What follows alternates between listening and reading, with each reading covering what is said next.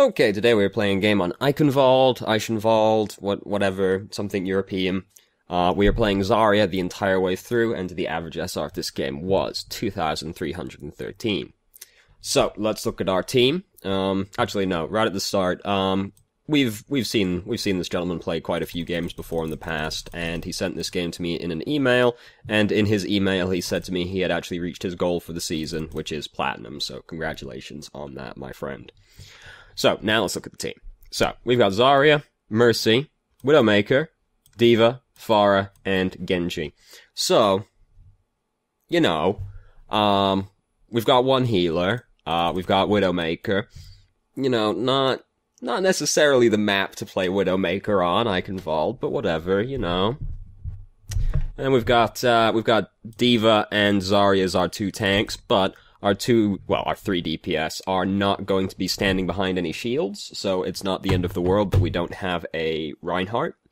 And if your team is going to be kind of all over the place, like this team is generally going to be, Zarya is usually better than Reinhardt, because who's going to stand behind your shield, right? Nobody. You know, not even Mercy. Mercy's going to be off with Pharah, probably, so whatever. So, you know, it's not really what you want to see, but, um, we're going to work with it, and as you might notice from the title of the video, it all works out in the end.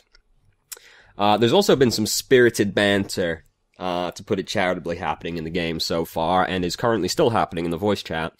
Um, so this is the kind of game where you start and you're like, oh, this is gonna go well. It actually does go well, though, surprisingly enough. So, let's start. So, D.Va's immediately going right now. We bubble her before she disappears around the corner. Um, and now we're gonna stand in the doorway and shoot at this Reinhardt shield for a while. Um, that's about the best you can do, really. Um, when your shield is up, like, we know they've got a Symmetra, so while your shield is up, considering there's not much happening up here right now, actually at the choke point, you gotta just put the bubble on yourself and then walk through the archway, because there's bound to be turrets along the edge of the archway, so you could have probably shaved them all off with the one barrier right there. Um, but at the same time, it doesn't look like we're going to get through the doorway anytime soon, so it's not going to matter overly so. Um, since D.Va did in fact just die over there. The thing is, it's going to be hard for us to get through the doorway unless the rest of their team kind of just disappears, um, to deal with something else. So we're kind of waiting for people to get a pick, basically. And Widowmaker hasn't just picked up, indeed just picked off their Symmetra. We just got all the turrets off the bridge. And some of our team are standing on the bridge behind us, Little scary. Reinhardt's up in our face. D.Va's just arrived and she's getting tased. We didn't actually get them all off the bridge. I, don't, I thought we got them all off the bridge, but I'm crazy. Um, so now we're going in. We should like try and get the turrets off of the bridge. Like that should be a slightly higher priority because we can just walk in with the bubble on us and then like take them all off and then leave again. Um, but now uh, Widowmaker has just picked off McCree. Symmetra still isn't back yet, probably. Well, she'll be getting back soon, but she isn't back just yet. Oh, very scary, got pinned, but we had our bubble on ourselves. Now D.Va's gonna help us bully this Reinhardt to death. And now we are gonna go in. Um, slight, slight efficiency thing here. We, um, I mean, I don't know if this was intentional, because we kind of just, like, come over the edge and then see Divas are sleeping, but D.Va is sleeping. That's good English. So we see D.Va sleeping and we bubble her while she's sleeping. Would be better if we like wait for her to take a little bit of damage so we wake up and then we bubble her. Because now, like when she takes damage, she isn't gonna wake up and seeing as we're going in, we'd rather she actually wakes up as quickly as possible. Um, but we're starting to roll over them at this point. They have just nano boosted their D.Va, but the D.Va is almost dead. Very scary. She almost killed our, um, Mercy right there. We just saw in the kill feed someone killed Symmetra's teleporter, which is fantastic news, because boy would that be depressing if they just suddenly all came out of a teleporter. Symmetra is trying to microwave us to death. We could try and fight the Symmetra a little bit more there. Um, because we're still reasonably high HP. We just put the bubble on ourselves. We could, like, try and a little bit more actively to kill this, um, Symmetra rather than falling back away from her. Now Symmetra's coming at us again for round two. But now we've got even more energy. divas bumped her away. Over here, we can see the picks are happening. Widowmaker is in fact making Widowmaker work. She is picking people off. We decide we're going to get some charge off of this D.Va ult. If I'm to really nitpick, getting the charge off of that D.Va ult probably isn't going to make a difference in this fight. So it could be argued it would be better to save the bubble in case like somebody shows up and starts fighting you instead, because it doesn't look like the charge right there is going to make much difference. But like that's really nitpicky because we're like winning this fight really handily right now. We're we're all here. Um, also, we just saw it push tab really quickly there, and uh, their Reinhardt has just changed into an Orisa, which is definitely not the play. So we're starting to really feel it right now. Now we're going to go in really aggressively. Just got pulled over really far by Orisa's right click as well. Managed to kill both of their supports, and we decide to keep going in right now. We like we should really be standing on the payload, but we have just killed both of their supports, so we can kill both of their tanks as well, since we have Graviton and Pharah uses Barrage with it as well. This is all fairly unnecessary. Like we should pro we should just be standing over on the payload really because like yeah, we're killing them, but like the payload is so far away from where we are right now, but and there's only been one person on it this entire time. By the time it actually catches up to us, they're gonna be mostly respawned and back anyway. But we did get like D.Va and Orisa were pretty staggered compared to the rest of their team as well. So you can argue it's still worth it. Um, probably better to just go stand on the payload though, and then like when they're all grouped, like you could have just done that. Like you could have done that exact graviton play right there when more of them had respawned and regrouped rather than just the two tanks. Um, because I mean, like now D.Va's back already. Like, but now all this is happening. Genji's using Dragon Blade right now. Um, we could be going in like more aggressively on these two people. Like we kind of duck out of the way. We could go in. We could just like keep walking forward because at this point it's only Orisa and Lucio, so it's not like they're too scary. I mean, Orisa is definitely not scary. Genji's just killed himself um, somehow, so some very intense dragon blading happened, I guess. And now we're going in. We're gonna bully this Orisa to death. McCree is like not gonna do anything right here, basically. Um, he tried, bless his little cotton socks, he tried, but he didn't get very far. And now we're just starting to roll over them. Enemy team at this point probably starting to feel a little bit tilted. What I will say about all this aggressive play that we have made is that um, it's def it's definitely gonna be making the enemy team feel a lot more pressured though. Um, because now they're like, fuck, they're killing us like 20 miles ahead of the payload right now. That, like, even that is not necessarily much of a benefit, because it still has to push all the way up to where we fought, it's still they're gonna be like fucking hell gee oh my god they're killing us and their payload isn't even fucking here yet they're like 20 miles ahead killing us it's definitely gonna be tilting them if nothing else so even though like you don't necessarily gain much from killing them that far ahead of the payload they're de- they're definitely going to be upset about it and as we all know in overwatch the team that tilts first is the team that loses so we're going in really aggressively right now, stop them coming out to even contest it. They like never even saw the payload during this entire stretch, so it sucks to be them, basically. Everything's going fantastically. Um, you know, we're rolling over them right now, so there's not um too terribly much to say, except for like the few things we have talked about. There's slightly more to say on defense. Um, though as you can see by the timer, this isn't a very long game. So we're still going in. We're still going in. We're bullying this D.Va to death, which is exactly what you want to do when you're playing uh, Zarya. You want D.Va out of the mech as quickly as possible so that you can use your Graviton without fear, which is exactly what we're doing now. We've broken the mech and we're immediately throwing the Graviton into their team. And also Zarya, you know, counters D.Va. Um, we only catch D.Va, like, this is, you know, she ults, uh, Pharah ults as well, even though we only caught two people in the Graviton, and one of them was Baby D.Va, so maybe a little bit of an over expenditure of resources. Um, you could, because we could could have probably just killed them anyway, but then McCree came out high nooning and we killed him as well. And it's like, it's not really gonna matter. Like, it's still pretty nitpicky thing to say because we're like rolling over them right now. Enemy team clearly tilted at this point, very upset about the whole affair. We're again going to build some charge off of this D.Va ultimate. We were very low on charge at that point, and the fight is still happening, so that one I think is more justified than the one before, but even that one was like, whatever, basically, because it wasn't looking, looking like you were going to need to use the, you wasn't looking like you were going to have to keep fighting anyway. Now we are still fighting, and we were low energy. When you're low energy Zarya, you do want to be high energy again as quickly as possible, usually.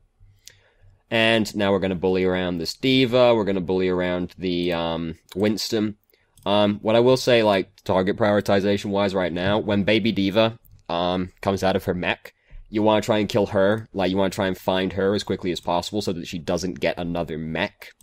Um, people kind of just like forget about da- Baby D.Va a lot when she comes out of the mech. Like, if you don't kill her, she gets another mech back pretty quick. So, like, you know, should be trying to prioritize her a little bit more over the Winston.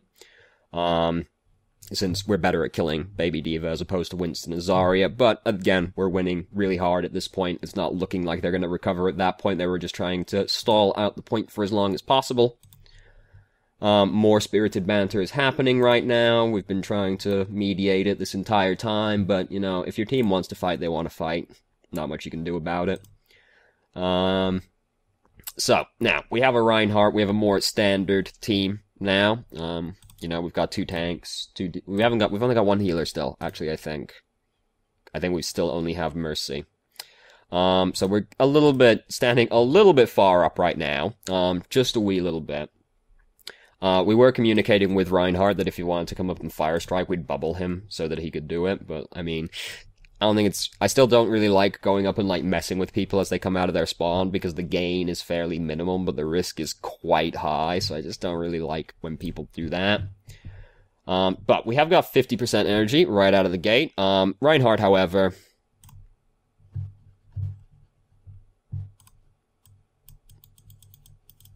don't do that You need a really good reason to charge out of the gate on defense. Um, that was not a really good reason to charge out of the gate on defense. So Reinhardt over here committing suicide. Um, we have um, their Pharah and their D.Va have lost their mech. We're getting a little bit aggressive right now, also. Um, like this, I'm okay with because like that's happening over there. Two of the like one and a half of them have died right now. So I'm okay with this, but then we start chasing her again. I'm not okay with this part. I'm okay with, like, poking out of the corner and trying to kill her, but as soon as she gets around the car, no, at that point you call it off, because now we're in really, really deep. Oh god, we're in really, really deep, and we end up dying. However, our team is still killing people, but our team now is also without a tank currently, which is pretty scary, because Reinhardt died just before us. Reinhardt's gonna get back pretty quickly, though, because he can charge down this path, and he's pretty close. Um, we got pretty over aggressive right there, though. I'm okay with the first poke around the corner, but then the chasing after that, oh, no, no, no, no. No, no, no, much too aggressive. Um, so, we're back now, though. Enemy team hasn't been making too much progress. D.Va's over here right now, but as you can see, we're killing D.Va already.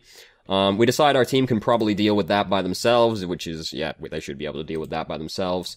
Um, this wasn't a very good use of our bubble over here, though. Um, because we bubble this guy over here. Um, he shouldn't need it. Um, it's McCree fighting Baby D.Va with a Mercy supporting him. He he shouldn't need that as well, and like you're probably not even going to gain much charge off of it because it is Baby D.Va. It's not like he's about to get like take any big damage or anything like that. And I mean, this is kind of hindsight 2020, but then we know that we find out that it would have mattered because we would like to be able to bubble this Reinhardt a lot more he would still die regardless, but we would prefer to bubble this Reinhardt, and he would at least give us more charge than the McCree over there. The McCree shouldn't need it. Like, he's only fighting Baby D.Va, he's got a Mercy with him, he didn't really need that bubble, so that's a bit of a waste of a cooldown right there. Now we can't use it on the Reinhardt. Um, we've lost our Reinhardt, and we've lost Pharah at the same time, so this is, uh, not, it's not looking good right now. We're falling back in here to try and heal up. McCree has just managed to kill two people, and Reinhardt don't ult around anything like that. Do not ult around these sharp corners, cause you are just gonna be fucking upset if you play Reinhardt and you do that. And he is indeed very upset right now. He tried to solo ult us, but we're standing in the, like, three corridors down, and he just completely whiffed it, and now our Reinhardt's been rezzed, and we're gonna kill him. So, not great. Um, um, don't do that. If you're playing Reinhardt, try not to ult one person when they're like three corridors in. It's not gonna work out. You're gonna be real sad if you ult around corners as Reinhardt, because line of sight is a fickle thing with Reinhardt's ultimate. Earlier today, I was playing on King's Row as Reinhardt, in fact, and, um, there's like a, there's like a lamppost that's like that thick on King's Row. Um, I ulted like right there, like right next to it, and it completely blocked the earth shatter, despite it being like a pixel thick fucking lamppost, and I was really upset about it. Line of sight is a fickle mistress. Line of sight is a fickle mistress. Excuse me. Um, don't ult around corners. So, we're all really close to having Graviton. Um, we're getting like a little bit overzealous right there, but like most of them are dead right now, so it's not like you're gonna get not too likely to get punished for it. Um, we bubble the McCree there, probably expecting him to get pinned, fair enough, but Reinhardt doesn't pin him. And now we've got our Graviton, and we decide we're just gonna chuck the Graviton in right here. This is perfectly fine. Um, and then Pharah is gonna barrage in as well, which doesn't get too much done, unfortunately, but like this is still, it's still good. Soldier's using Tac-Visor, um, he's wasting it, basically. Um, now, some people would look at this and they would, and they would be like, damn, that's really overly aggressive. You didn't need to ult there. They were like outside the game. That's like honestly exactly how you want to ult as Zarya. Because you don't want to be the one that ults second, right? You don't want to be the one that ults in response to them ulting. Especially not with Graviton, which is used to initiate fights. So like, even if you're defending as Zarya and you are like, ult them outside the choke point, you just go out of the choke point and kill them. You want to make the attacking team feel like they're on defense, if that makes any sense. Because you don't want to be the team that ults second. You want to be the team that ults first. So, that probably like would seem really overly aggressive to people. That's honestly exactly how you want to ult Zarya. You see an opportunity to ult their whole team, and you ult them, and then you go out there and you kill them. Um, this is way too far to go back. Um, this is like a slight efficiency thing though. If you're in a position where you can just like go up to the graviton and start like right clicking into the graviton, um, punch in between each right click because punching, but there's like a wind up where she pulls it back again. Um, you can't add punching between that doesn't add delay to the next shot. So you right click punch, right click punch, and you do slightly more damage in the graviton. Um, this is just like a random thing to tell. To, this is just like random advice. Um, slight efficiency if you can get right up to your graviton. Um, Widowmaker over here. Reinhardt decides to commit suicide. Great for us. Fantastic news. Widowmaker is shooting people. Pretty good. Um, we are getting a little bit overzealous again, but the Reinhardt's dead right now, so the chance of them punishing us pretty low. We also can, we've also got Widowmaker's infrasights on right now, so we can see exactly what's happening over here.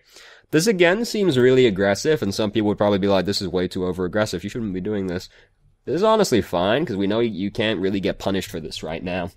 Because their Reinhardt's dead, someone else was also dead, and we can see with the infrasights exactly where they were, so this is perfectly fine. And look how much ult charge we got off of this. We've almost got another Graviton. We're gonna get another Graviton off bullying this D.Va. Like, that part's probably a little aggressive because they're gonna be coming back at that point, and we chase her pretty deep into that house. But we break our mech for it, I guess, and we do get Graviton off of it. That part, probably getting a little too aggressive at that point. But, we come out, we decide we're going to Graviton again right now, and this is the point where the team, enemy team is going to be like, fucking hell, how does she have Graviton again? Because we charge that one up pretty fucking fast. This is again exactly how you want to ult as Zarya. You want to be the, you don't want to be the Zarya that ults in response. You want to be like, we're fucking fighting now, and then we fight. And then we kill them all.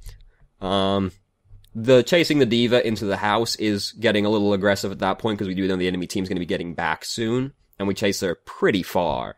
But like, I'm actually like okay with pretty much everything else we've done up here because like this is how you want to play. This is how you want to like ult Zarya, and that's like basically what all this aggression out here has been based around. Has been us ulting.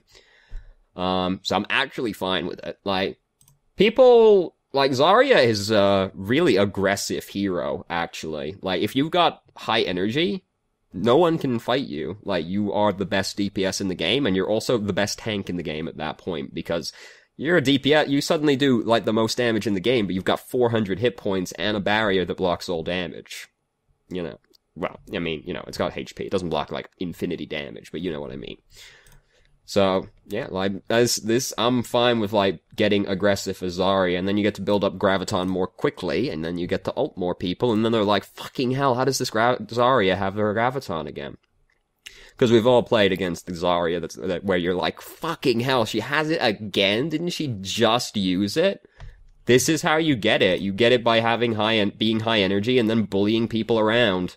Like even that, like we can see what's around us. Like it's really unlikely you actually get punished for chasing the Lucio that far because the only people nearby, like, can't kill you that quickly, right? Because it's like a Winston, an Ana, and a soldier. So, it's pretty unlikely you even get punished for that. So, like, this is actually how you play Zarya, where you get high energy and then you bully the other team around and you make them feel like they are your bitch because they are. Look at that. Like, look, just go up and fucking fight the Junkrat. What's he gonna do about it?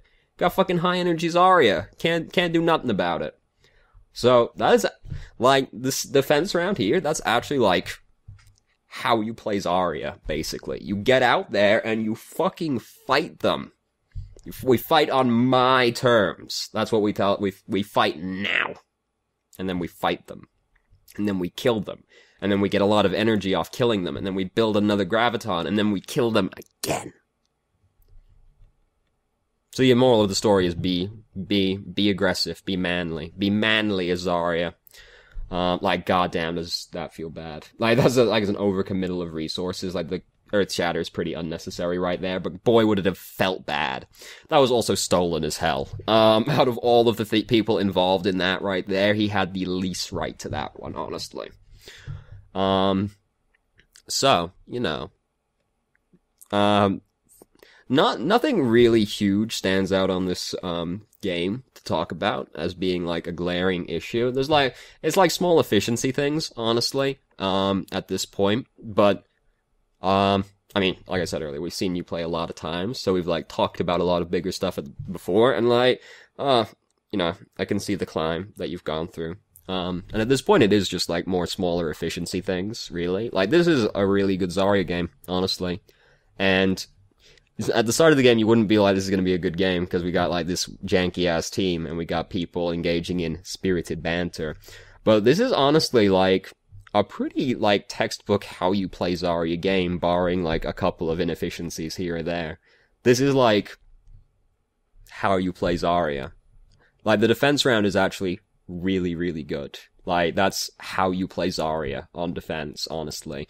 Barring like the one early, like too aggressive, we chase the Zarya, the um Ana, and we get killed. And Z- Reinhardt also charges out the gate that's the kind of thing that can lose you the game. But like Reinhardt charging out of the gate by himself can lose you the game. So, you know, but then we get too over aggressive with him. That's like the only thing. We get a cut, like, we get too over aggressive in a couple of parts in this game. But other than that, this is like a really, really good Zarya game.